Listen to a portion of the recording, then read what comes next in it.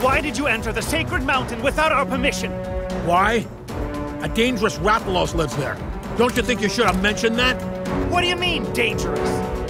The Rathalos that inhabits the sacred mountain is Guardian Ratha. He protects this island. Huh? The people it injured might say otherwise. That's... That's because you raised your weapons at him!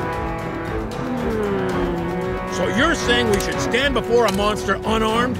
This is a rider's island. Brandishing weapons at Guardian Ratha is an unforgivable act. Hmm. Hmm. Have you all lost your collective minds idolizing a wild Rathalos? Give me a break. Ah, I'll give you a break, all right. Okay, that's enough. Knock it off, both of you. The main reason we invited hunters to our island's festival was so that we could foster a little goodwill between us. Kayna's right, besides. There are children listening. Please calm yourselves. Uh, yes, sir.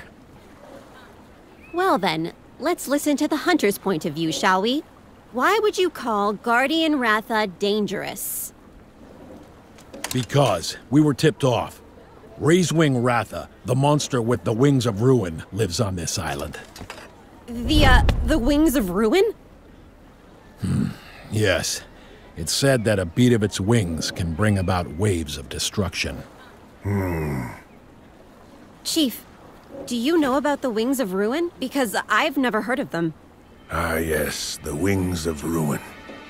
Legend has it that a long time ago, a Rathalos born in this region brought terrible chaos and destruction to our world. But, but, that's, that's only a legend, right? Who can say? In any case, our top priority right now is to determine the cause of these strange happenings. Yes, of course. Why did the ocean change color? What was that light? And where did all the Rathalos go?